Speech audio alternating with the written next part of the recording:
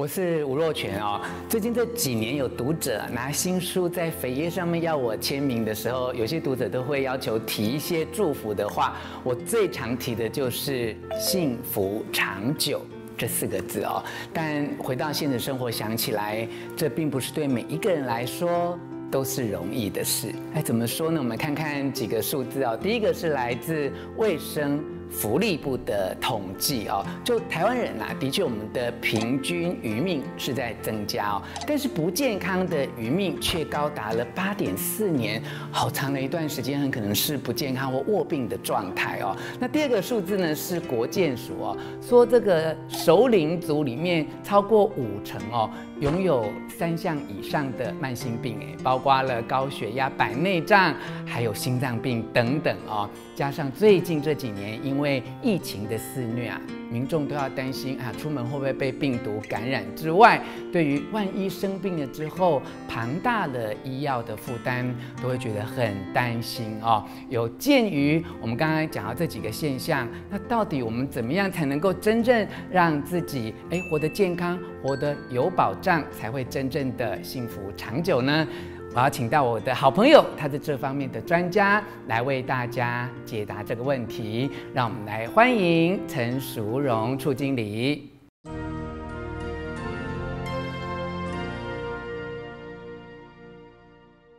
好，我们来自。富邦人寿高应通讯处的处经理陈淑荣，你好，若泉哥你好。好，我们刚才讲到，其实这整个环境的趋势啊，造成我们其实要活得健康，活得有保障。那么在很多的保险的规划上面，大家应该更着重在于这个健康医疗跟长期照顾上面啊。那么从保险的观点来看，怎么来解读这个趋势跟现象？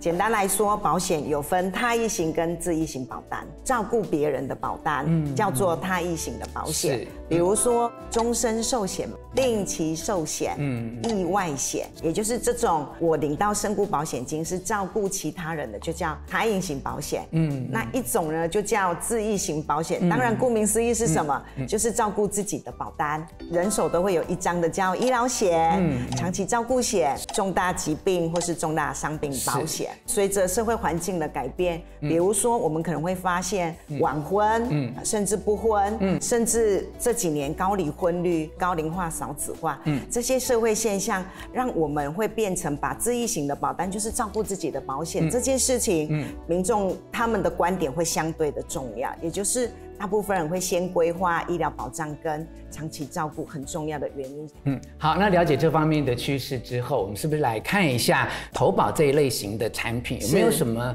人生的阶段啊，或是收入啊、性别啊各方面优先顺序的考虑呢？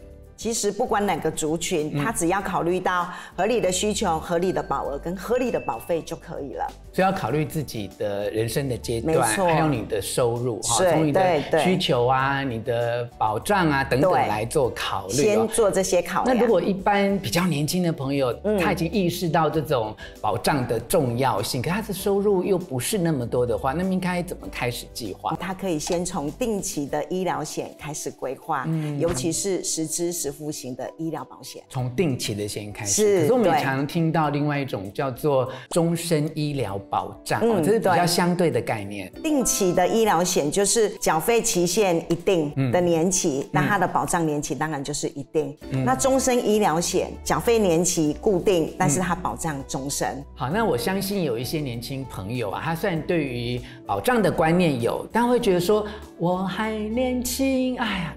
长期照顾好像离我很遥远，没错。但在我的经验当中，我也常常听到，在呃青壮年甚至是更年轻二三十岁的朋友，哎，他突然发现一些呃比较罕见的疾病，或者是在工作上面发生一些公安的意外等等啊，后来就导致他没有办法工作，就失能了。对，所以我们是不是也应该来呼吁一下年轻的朋友，如果你的呃收入啊、规划各方面，其实。足够你去思考这一点的话，也应该要考虑一下长期照顾的需求。我有一个朋友，他才二十几岁，嗯。可是他就生了一种病叫多发性硬化症。这个疾病是一个免疫系统的疾病，它会让他的身体出现眼睛看不到，然后手脚的关节会硬化，所以呢，当他生病的时候就开始怎么样？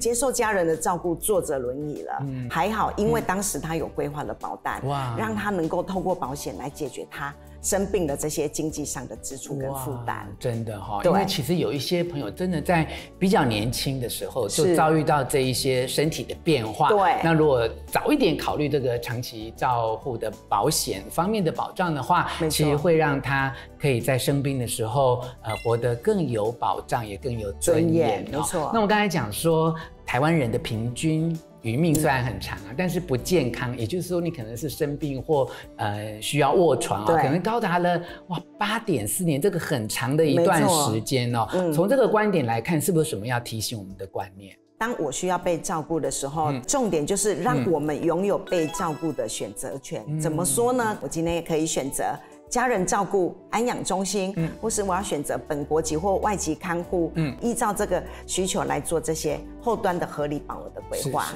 被照顾的选择权、哦。没错当你有了保障之后，你才能够做自主的决定、哦。没错当然，被照顾很多种方式，是包括安养院啊、照护中心啊，它也因为它提供的服务、跟设施、跟照顾的品质，它的收费标准都不一样。当你有这样的保障的时候，你就可以自己选择，当然你想要得到一个什么样的照顾的这个就是保险的好处对不对？对好对好，那我想很多朋友会呃意识到说啊，现在其实我们去看病啊，就发现说哇，很多呃。医药啊、医疗啊，就不一定健保都会全额的支付、哦。那我们可能透过这个呃保险的规划，就是让我们在呃医疗的保障上面，或在给付上面哦，可以去弥补这个健保没有支付的这样的差距。是，当然，在医疗保险的规划上，有一个很重要的商品叫做实支实付型的医疗险。它的目的呢，就在解决我风险发生的时候，支出会增加。比如说这几年比较常发生的这个状况叫牙周病，牙龈萎缩，是齿槽就会开始摇摇晃晃啦。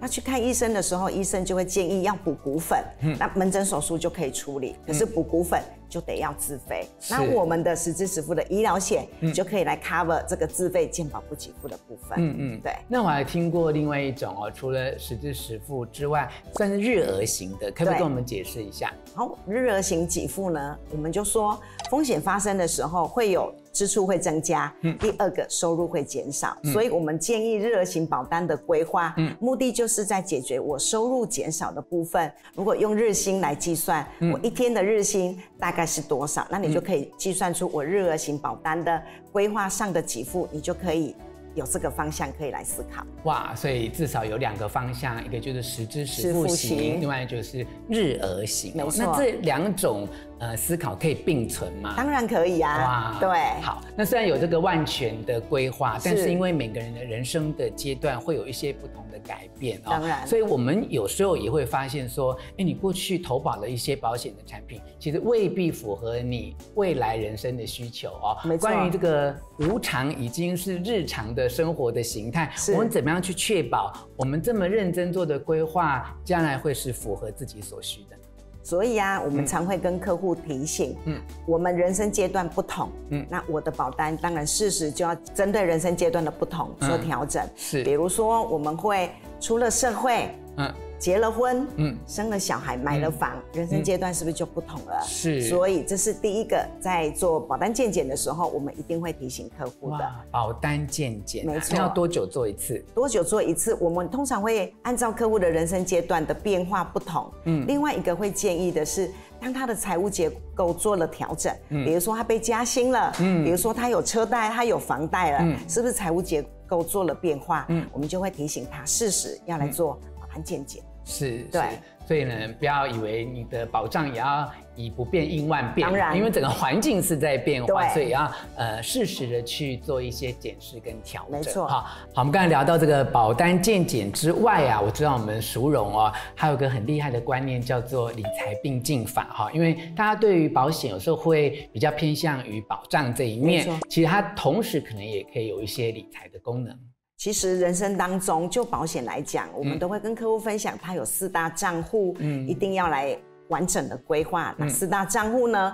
责任的账户、医疗的账户、长照的账户跟退休的账户。嗯，我有一个客户哦，我认识他的时候他才二十五岁，今年他已经五十岁了。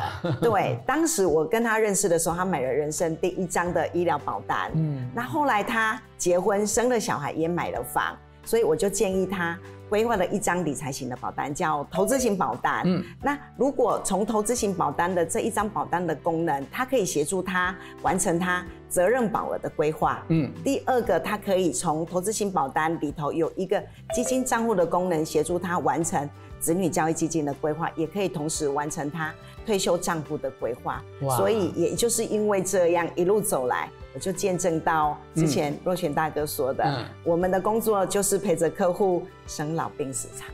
是，对，哇，其实哦，在保险界有一句话提醒大家说，其实保险不是今天有人要走，而是明天有人要活下来哈。呃，面对保险，其实规划的不只是保障，而是你未来的人生。今天非常谢谢呃我们淑荣来跟大家做这样的提醒，我希望今天的观念能够帮助到大家。谢谢。